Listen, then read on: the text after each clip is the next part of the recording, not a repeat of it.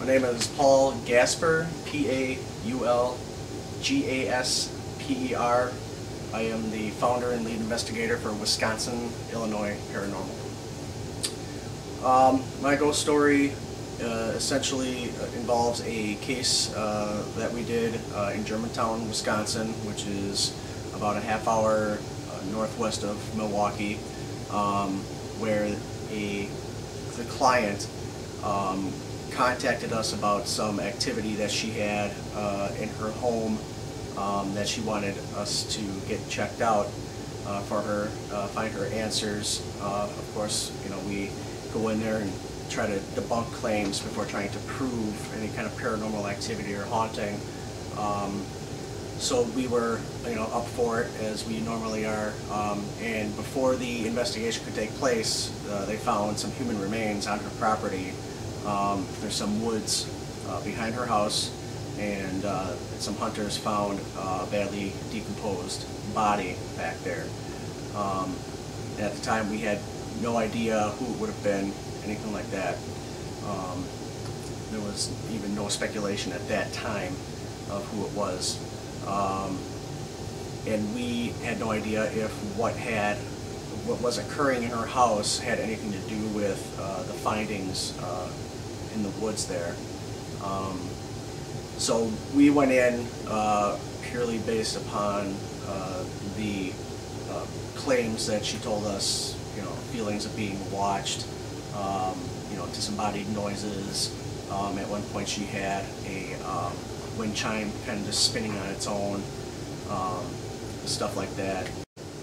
What the client stated um, was that she believed that some of her thoughts of possible activity occurring in the house probably started around the time where they would have thought the um, person had expired um, in the woods. So we're talking maybe up to about a half a year's time by the time we were contacted uh, that this was going on.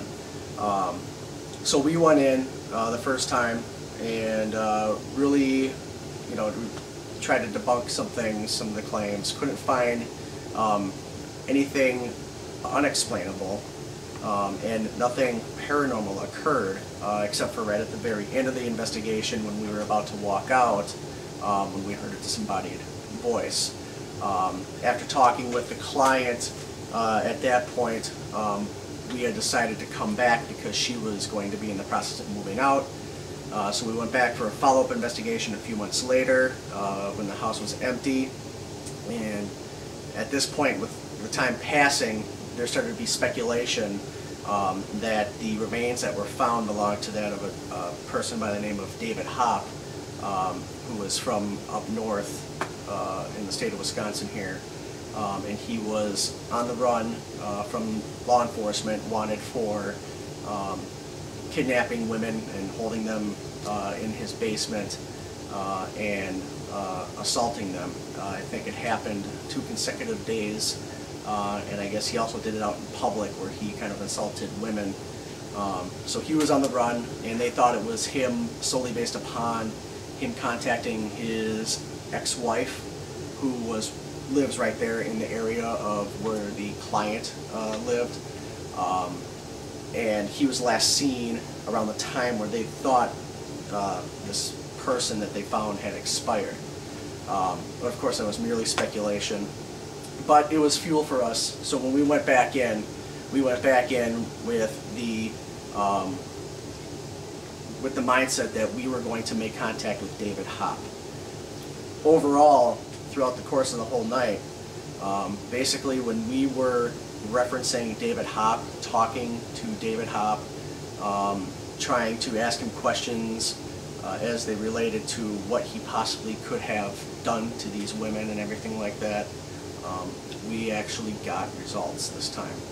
Um, and in my opinion, um, again, in a field-based mostly on theory. In my opinion, I believe we did make contact with uh, David Hopp that second evening that we were there. Um, and it was later confirmed actually uh, in late 2011 that the remains that they did find um, through DNA testing did belong to. Um, I don't have a personal relation to the location. Uh, it, like I said, it was a client uh, that contacted us. Uh, the location is in Germantown, Wisconsin. Um, it is just north of um, Highway Q, uh, and it's on a side road that runs adjacent to uh, Highway 41 in Germantown. Um, and it, the house is way off uh, the street. Uh, there's a really long driveway to get to it. It's kind of like situated like right in the middle of all these woods with the main part of the woods from the back of the house going to the freeway. Um, and as far as us investigating, uh, we also investigated outside and um, the walk from the back door of the house to where the body was um, when we got there we saw the police tape was probably about a minute walk so it wasn't very far off um, from her back porch. The client didn't have much for us in the, in the way of history.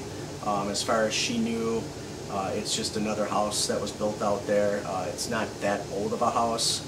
Aside from anything historically happening there um, and the, you know, the, the body being found, the remains being found, other than that, there's no other significant, uh, you know, attribute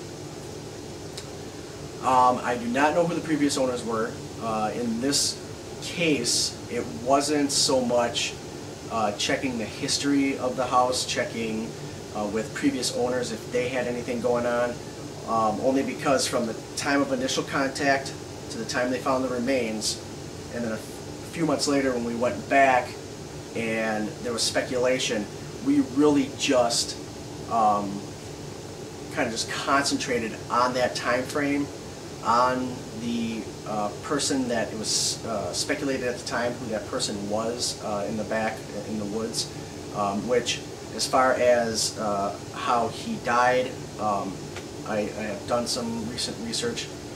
They're, they don't know exactly if it was murder or suicide. It could have been either or. Um, I know at the time they did find a weapon uh, near the remains, whether it was self-inflicted, uh, they're not sure. The other theory is that um, his ex-wife may have killed him. Again, that there was one instance where uh, my pant leg was grabbed um, down in the basement uh, while we were doing one of our experiments, um, which actually uh, is captured as part of an EVP clip that we have where I say out loud that my pant leg was tugged and then there's kind of like a chuckle or a laugh almost as if like something there um, was being kind of evil and or maybe even playful and kind of laughing about the fact that it, it grabbed me um, so we were provoking a lot and um, I kind of think that maybe that was just um, whoever was there which at the time we didn't know who but if it was David Hopp it was certainly that we got his attention. Um, other than uh, some EVPs, uh, the shadow photographs, the possible figure in the woods, um, people uh, that were there uh, hearing disembodied noises and voices. Um, we haven't been back since, so aside from all those, um, there was no other experiences to be had.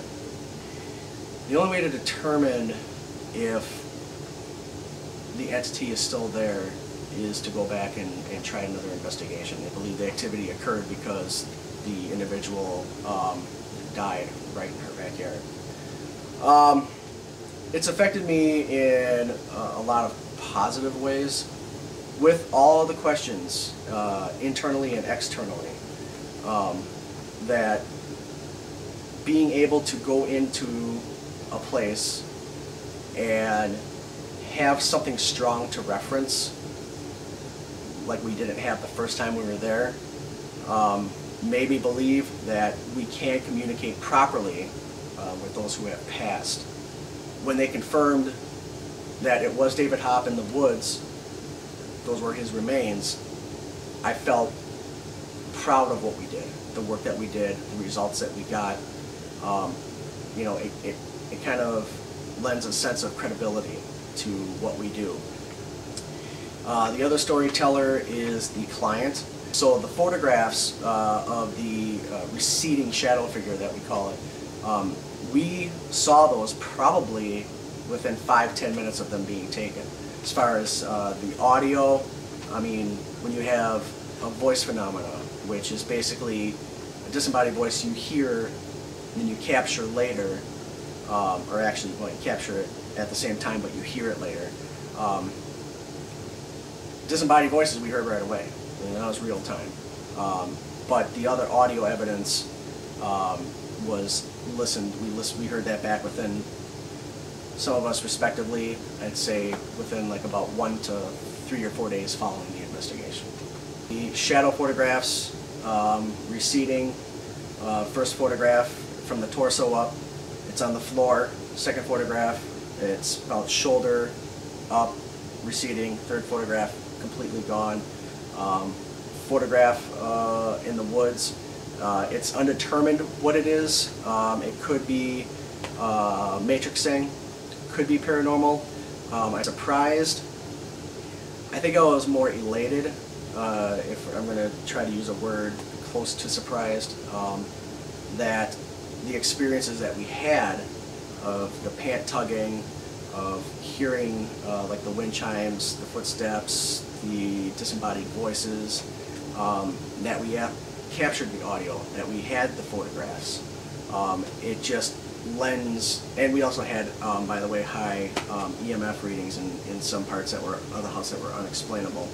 But um, it kind of just ties itself all together that all the evidence is so substantial that you, can't possibly say that um, it was all normal or natural uh, explanations or causes of those things. So uh, the photographs were taken by Keith um, uh, down in the basement.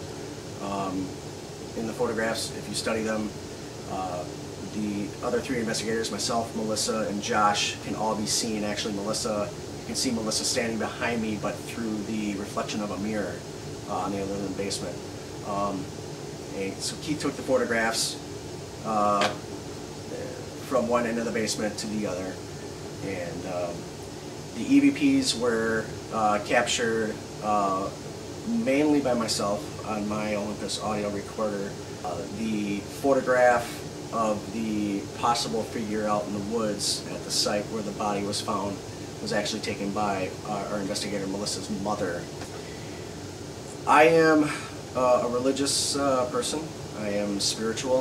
Um, I believe in God, therefore I believe in the devil. Um, I think that if anybody believes in one, they have to believe in the other. And I think if, uh, with that belief, you also have to um, believe that there is something spiritual out there. Uh, I would have to say, um, yeah, I,